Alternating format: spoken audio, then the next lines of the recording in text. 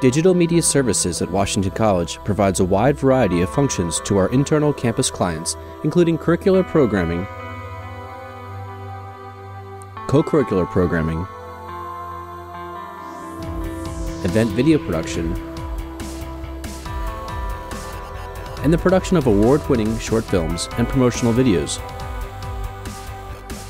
As budgets decreased over the years, campus users demanded an increase in the quantity, quality, and complexity of the projects we produced.